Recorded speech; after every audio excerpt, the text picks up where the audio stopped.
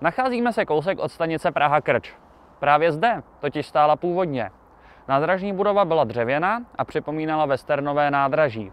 Postavena byla v roce 1882 spolu s tratí do Modřanského cukrovaru pro jeho rychlé a levné spojení s Prahou. V roce 1964 bylo zdejší nádraží zbouráno a přesunuto do dnešní podoby. To souviselo s výstavbou železniční jižní spojky a mostu Inteligence. Nádraží se poté přesunulo prakticky do centra Dolní Krče. To byla klidná a odlehlejší část Prahy. Dnes už její severní část prakticky nenajdeme, protože byla zbourána při výstavbě silniční jižní spojky. Díky tomu je nádraží prakticky odříznuté a téměř nepoužívané. Dnes je trať mezi Vršovicemi a Modřany poměrně napřímená. Pojďme se ale vrátit před rok 1964. Trať byla postavena co nejlevněji a rychlost jízdy tehdy nebyla tak zásadní, což očividně pro zprávu železnic není ani dnes, ale zpět do Krče.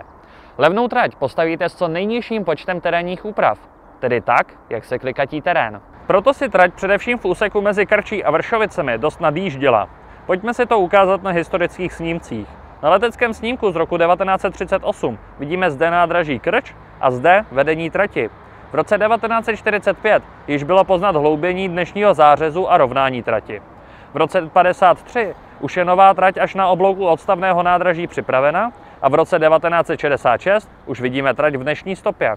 Už byl tedy zbořen starý most přes Vídeňskou ulici a postaven nový, dnešní. Vedení staré tratě už je poznat méně a prakticky jen v Michalském lese. No a ačkoliv jsem mluvil o vedení tratě po co nejrovnějším terénu, tak to byl v lese samozřejmě trochu problém, kort v tomhle kopcovitém. Tamhle vidíme dnešní most přes Vídeňskou ulici, který byl navíc okolo roku 1974 rozšířen o vlečku do metra. Původní vídeňská silnice vedla v místech dnešní silnice u Michalského lesa, která leží zde. V těchto místech byl původní most a trajekt poté pokračovala dále tímto směrem do lesa. A schválně typněte si, k čemu je tady tahle zítka. Ona to totiž není zítka, ale právě pilíř bývalého železničního mostu, vedoucího přes Vídeňskou silnici. Tím pádem tento strom, který stojí prakticky uprostřed bývalé železnice, vyrostl do své výšky za necelých 60 let. Jinak zde nenajdete další zmínky po bývalé trati. V její stopy jsou teď různé areály, které si tu oblast upravily podle potřeby. Bývalou železnici tak opět rozpoznáme až o pár desítek metrů dál.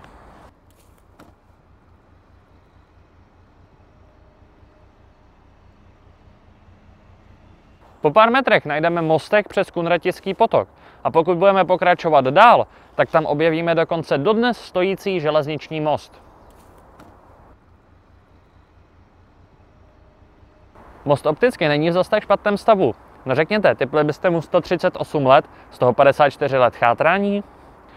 Překonává silnice vedoucí k dnešní retenční nádrži, restauraci a k tenisovým kurtům. A takhle zepředu je docela hezký. Bohužel horší je to uvnitř, kde je vyzdoben typickou pražskou výzdobou jménem vandalismus. Jinak mi přijde, že sem docela zapadá. Což možná bude způsobeno tím, že je starší než drtivá většina okolních stromů. No a dále se nám už znaky o tom, že tudy vedla trať ztrácí. Dojedeme k jižní spojce a za ní už není po trati ani památky. V její stopě dnes stojí část odstavné plochy garáží Kačerov, východní část přestupního bodu Kačerov a dále západní část depa Kačerov, část ulice podle Kačerova, parkoviště pro kamiony a odstavné nádraží jich. Dále již trať vede v původní stopě. Pokud někdy budete mít do těchto míst cestu, určitě se běžte na pozůstatky železniční trati podívat. Dostanete se na ně z cyklostezky A22, z autobusové zastávky u Labutě, případně ze samotného nádraží Krč, které je již tedy více vzdálené. Doufám, že se vám dnešní historické video líbilo a já se na vás budu těšit zase u dalších videí. Ahoj!